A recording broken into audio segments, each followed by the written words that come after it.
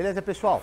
Vou fazer esse vídeo agora a pedido de alguns alunos é, que tem uma certa dificuldade em identificar o grau de dificuldade do trabalho em função dos acessos, das travessas.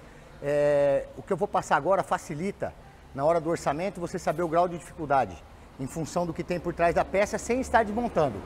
Por exemplo, nessa região aqui da porta, é bem comum ter uma travessa que dificulta o acesso aqui por ferramenta.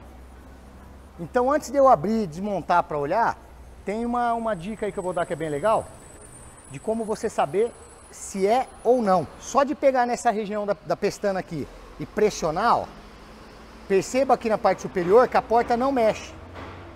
Ela é muito resistente. Significa que tem uma outra chapa ponteada aí por baixo. Mas para confirmar, ó, eu coloquei a, a cunha inflável, vou abrir um espaço entre o vidro e com uma alavanquinha pequena, eu já consigo, ó, já tô mexendo aqui, ó, e eu consigo saber se tem a travessa, ó. Dá, dá para pegar a travessa, tá certo? Então aqui seria um local de, você já prevê que vai ser um trabalho mais demorado, que você vai ter que remover a pestana, desmontar o painel da porta, subir o vidro e talvez até ter que tirar o vidro. Então é um orçamento num local bem complicado para trabalhar, tem que ser bem cobrado, tá certo? Agora eu vou comparar num outro carro que é, não existe essa dificuldade e que dá para perceber também sem desmontar. Também tem a mesma, a mesma forma do que os outros carros, né? A maioria dos carros tem essa mesma aparência. E como eu vou saber se aqui embaixo tem chapa ou não? Ó, simples. Tá vendo? O movimento que eu faço aqui movimenta somente a região da, da, da peça externa. Você não sente aquela mesma resistência que existe do outro lado. Agora eu vou confirmar o que eu estou falando entrando com a cunha e verificando o acesso. Então, abri o espaço para entrar com a ferramenta pequena, só para eu confirmar. Ó. Eu estou arrastando aqui, ó. Então, se houvesse uma, uma outra chapa aqui, eu já pegaria ela logo na, na alavanca. Ou mesmo até com o celular, você pode clarear aqui com uma lanterna e verificar, ó. Ou até o dedo entra. A mão entra aqui, ó, quando você usa a cunha. Então, na hora do orçamento, é mais fácil você fazer uma avaliação do local antes de dizer para o cliente o que dá para fazer, o que não dá. Isso é uma dica que a gente costuma dar nos cursos, né? Ó, vamos caminhar aqui pela área de treinamento, eu vou mostrar mais algumas portas que é fácil identificar. Sem olhar essa porta, sem olhar lá dentro, eu vou apertar ela aqui, eu já vou saber, ó. ó tá vendo? Ela não movimenta significa que ela tem um reforço por dentro. Realmente ela tem um reforço. Vamos pegar outra. Essa daqui também vou apertar, ó.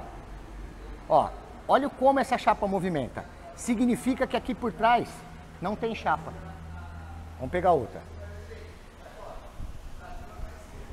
Ó, essa daqui não tem nada também, ó. Ó como ela é mole, eu chego a encostar do outro lado. Então eu coloco a mão aqui dentro e já sei que a, que a ferramenta vai pegar até essa região. Agora, quando você tem a resistência do lado de dentro, o trabalho se torna muito mais difícil, muito mais longo, porque você já tem que prever uma, um processo de desmontagem e remoção de peças muito maior. E aproveitando essa dica de acesso, vou mostrar mais um detalhe para vocês. Aqui eu tenho duas colunas de teto. Essa coluna é uma coluna de fiesta, cortada, né, para que a gente possa ver o que tem dentro. Se tiver um amassado nessa região, e eu encontrar um acesso aqui, eu consigo fazer essa travessa? Não, porque ela tem três chapas. Agora, como eu vou avaliar isso antes de desmontar o carro para dar um orçamento para o cliente?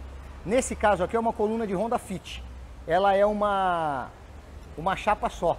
Então eu posso encontrar um acesso natural da peça aqui para entrar, sabendo que eu consigo levantar. Ou então eu vou criar um acesso, né? Através de, de uma, uma broca, depois você vai fazer um, um colocar um tampão, fazer um trabalho com capricho, né? Isso não prejudica a estrutura do carro e nem o cliente. Agora eu vou mostrar no carro como eu faria isso. Vamos imaginar que está amassado aqui, ó. Alguém deu um soco aí e amassou. E eu preciso fazer esse trabalho.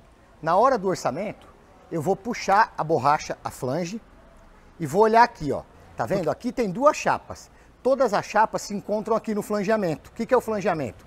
Flangeamento é essa, essa junção onde as partes são ponteadas, né? Lá na montadora. Então eu vou olhar essa região e contar quantas chapas tem aqui, ó. Nesse caso, Tem uma, duas. Significa que não tem nada lá dentro. Nesse caso aqui agora, nessa região, já é nítido ó, que eu tenho uma, outra lá no meio e uma da ponta. Então eu tenho a chapa de fora, eu tenho a chapa de fora, a chapa do meio e a chapa da a chapa de, interna, né, o reforço interno, a resistência do meio e a parte externa que é a parte do acabamento. Olha aqui na beirada, ó. Uma, duas, três. Nesse caso, esse amassado só poderia ser, ser feito com cola ou um retoque mesmo. Para se fazer um, um, trabalho de martelinho aqui, teria que se fazer um processo muito agressivo que não vale muito a pena. Eu, eu não, não acho isso legal, acho que é um pouco antiético. Você teria que abrir pontos com a furadeira, é, esgarçar esse espaço para poder entrar com a, com a ferramenta.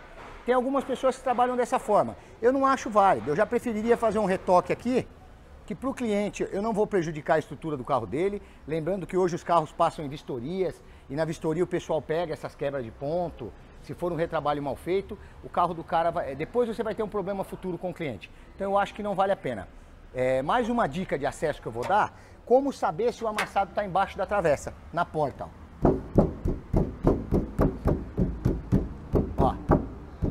Pela, pelo barulho aqui, ó. Flexível, flexível, flexível, flexível, flexível. Aqui tem uma travessa. Eu já encontrei a região da travessa só de movimentar a chapa. Ó.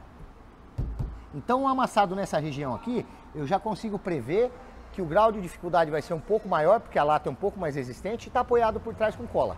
Beleza, pessoal? Obrigado aí para vocês que estão acompanhando nossos vídeos. Continuem curtindo e quem quiser se inscreva no canal lá da R Golden. Valeu!